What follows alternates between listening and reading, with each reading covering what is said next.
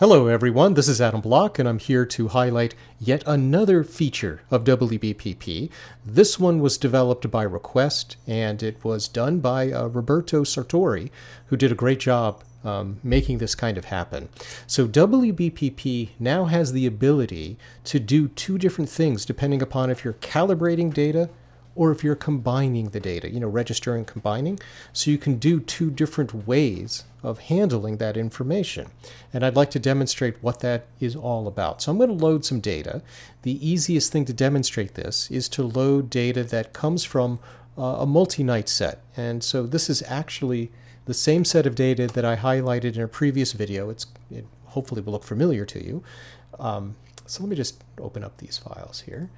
So those were the those were the darks and everything, and then I have the data itself, darks and biases, but here's the data across many nights that can be grouped together.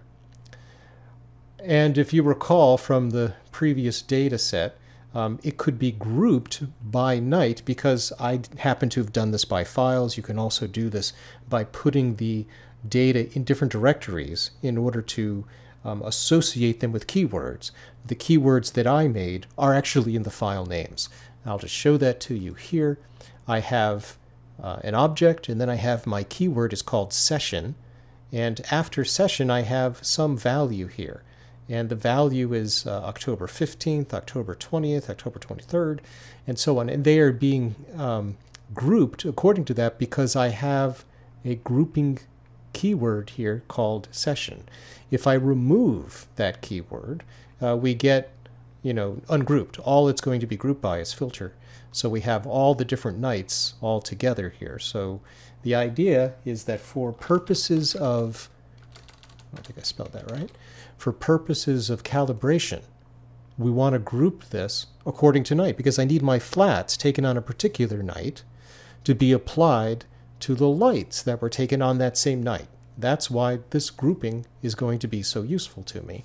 Now, I'm going to spend a moment and take care of some of these uh, little warnings that have to do with the fact that some of my data, not all of it, but some of it, um, I have to use optimize. And in general, uh, do, you know, you don't necessarily want to do that unless you kind of have an expectation of what you're going to get. Give me one more.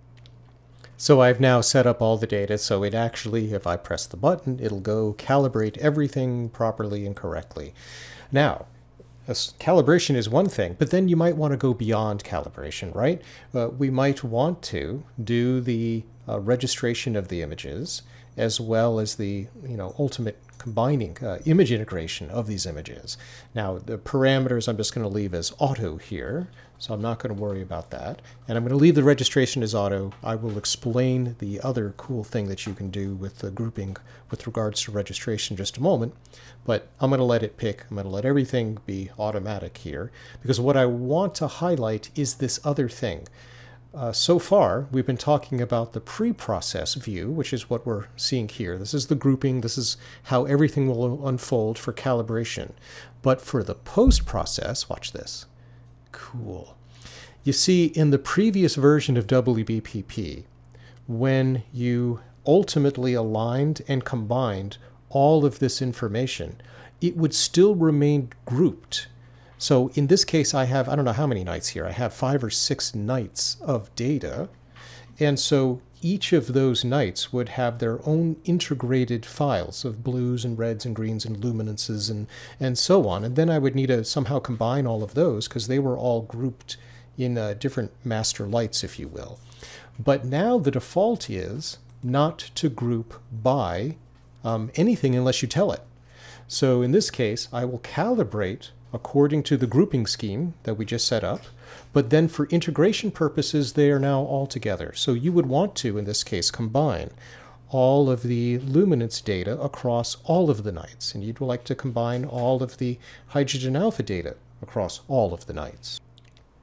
So that's what this is showing. It is showing you how you would be combining all of the data. And right now we are not in any way distinguishing from one uh, light frame at, in a particular filter from any other. They will, all of the clears will be combined, all of the red data will be combined. So I will only end up with one, two, three, four, five uh, combined image integrated light frames. It calls them master lights. But if I wanted the old behavior, I can do that as well. Over here, we can control what a keyword does. Now, in this case, I'm using the same keyword. It can be used in both the pre-processing, the post-processing, or not at all. It can be used in either.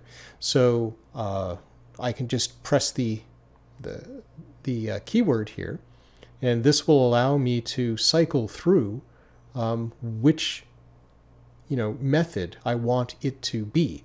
And I'm going to say, let's have it be the post method here. And now you'll find that, oh my goodness, look at that. Now we have all of these data that are going to be grouped. This is how the old method would have been, uh, grouped together because there's a green, a set of greens, four frames. On this particular night, I would have had a master frame for each of these, and that would have been crazy. That's not what I wanted.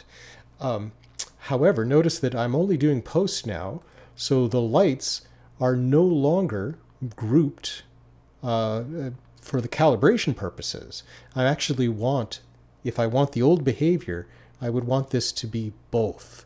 Now I'm grouping here by this keyword. So this is going to be grouped by night, just as I said. And the output is also going to be grouped. So this is the old behavior here. The pre-process is grouped and the output is still grouped but that actually isn't the way you would do a multi-night. So let me put this in the proper multi-night way. We want to group by calibration keyword here. So I'm going to just press the button. So grouping by calibration is the pre-process. And the post-process, I don't want anything grouped at all. But there are other configurations where you may want to group differently for post. And one of the more uh, common ones is if you're doing a mosaic. Because if you're doing a mosaic, then it might matter not just the night, but it also might matter which panel you're talking about. So if you're grouping by panels, then um, having that keyword control the post image integration will be important.